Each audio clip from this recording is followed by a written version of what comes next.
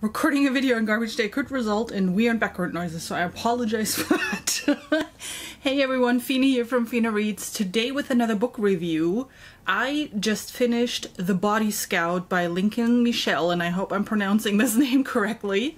Could be Mitchell, could be, hmm, French, American, who knows. But that's a new book released by Orbit just recently. I received an e-arc from NetGalley, so thank you so much NetGalley for or Orbit for approving me for that book because it was a really fun read and I'm super excited that I picked this book up and that's why you know how it is. I had to talk about it and I had to share my excitement with you. So let's talk a little bit about The Body Scout. Besides the cover being amazing, the story itself is a science fiction. It has some thriller elements into it. So when I started with it, it was like, ooh, that is actually more like a thriller story but there is a bit more to it. So it's really a science fiction with thriller with a little bit else that I cannot talk about because then I'm spoiling things and I want to keep this spoiler free. Our main character's name is Kobo. He is a body scout, which in that world that the book plays in means he is scouting players for baseball teams. But baseball teams are not quite the same anymore in that future. It's really all about the medication they can take, the upgrades that they can add to their bodies, the kind of enhancements that they can do to their lungs, their eyes, and whatnot. So, and scouting in that world actually works by what's the next best medication I can give my players so they can throw balls further, all that kind of stuff. But Kobo is really focused on talent and finding people that are talented baseball players. In this world, body upgrades are the thing. Everybody wants their body upgraded. Everybody wants to or puts a lot of money into that, which leads to a lot of people having financial issues based on their upgrades, or if they received upgrades due to health issues, they are now in debt because of that that's kind of the main world. Of course, you have fractions in there that are against all of those buddy upgrades. They are playing an important role as part of the whole story as well. But the focus is really on Kobo because he is watching a baseball game where his brother is playing a really great game. They're in the what is it called in baseball? I forgot. I just read about it and I forgot. Playoffs? No. You know what I mean. I'm not a big sports person. but whatever those end games in baseball are called. And he is watching his brother about to hit a ball when all of a sudden blue goo is coming like out of his eyes and he's kind of falling apart and essentially dying. Kobo is devastated and he is now trying to figure out what in the world happened to my brother.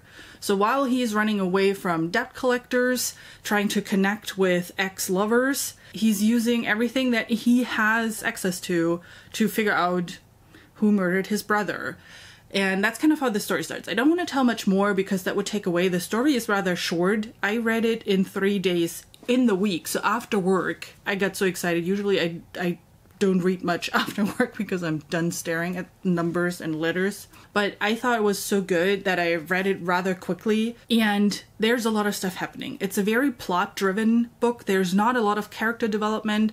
You get introduced to the character and his problems pretty much at the beginning, and then not much else is happening. So that's kind of how he is throughout the book. What I thought was well done as part of the plot is that it is a world where race and gender don't seem to be a huge issue anymore. So the representation was actually pretty good for, I mean, again, I'm not an expert in books with representation. I thought it was well done and well integrated into the whole story. And then you also have a lot of exploration in that future world where it is really just about the money and the next best upgrades. Nothing else matters anymore. And because of that, you're seeing a lot of issues with just healthcare in general, people being social, people trusting each other, crime, all that kind of thing. So it's not a fun city to live in, in my opinion. But I think the author did a good job in you know, getting you into the mood of the city and what it is really about, which is why it was so much fun to read through it. The writing in general I thought was good. It was really well paced uh, which adds to the thriller element that I kind of was feeling at the f- for the majority of the book, really. Although a little bit repetitive at times, but not to a point where like, oh my god, stop it, and you want to throw away the book. So you were able to read over it. The one thing that I had a little bit issues with were the focus on baseball and all the sports analogies and the talk about baseball and specifics to about it. I have no clue about baseball. I'm not a great sport person. I'm fine watching sport, except for American football, rather boring. So that kind of was a little bit off putting, especially at the beginning when I started to get into this story. But it got better as we moved along because then the focus was not as much on baseball anymore.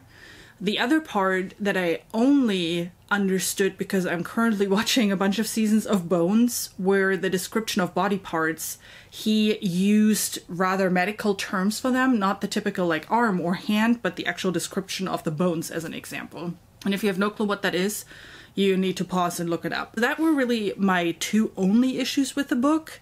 I ended up giving it four stars. It's not my all time favorite, but it's definitely one of my favorite books that I've read this year, and I'm so glad that I got a copy because I actually stumbled over this book by accident. I watched a virtual Comic Con panel that was organized by Orbit and the author was talking about his book and i just listened to it on the side i was actually doing something else so i didn't really hear what he was talking about when it came to the book. I just saw the cover and was like ooh that is great. Yes i'm a cover buyer and that is definitely a book that i bought because of the cover. So i highly recommend it especially if you are into baseball and if you like sports if you like the stuff. I think this is an amazing sci-fi thriller-ish book. It, if you are not as much into sports like I am, I think it's still a good book and it's still worth reading because I think the world that he built, the future uh, that he built, so it play I don't know if I said that before, but it plays in New York, I think. Yes, in New York because he talked about Jersey. So the future that he built for New York, I actually found rather interesting and there were a lot of good quotes in the book that I also highlighted throughout it, and that's what I found really interesting about the book. Again, not really a whole lot of character development. So if you're a person who loves character development, not a great book for you, but the world building and how he explores the societal issues in a future like that as part of the plot.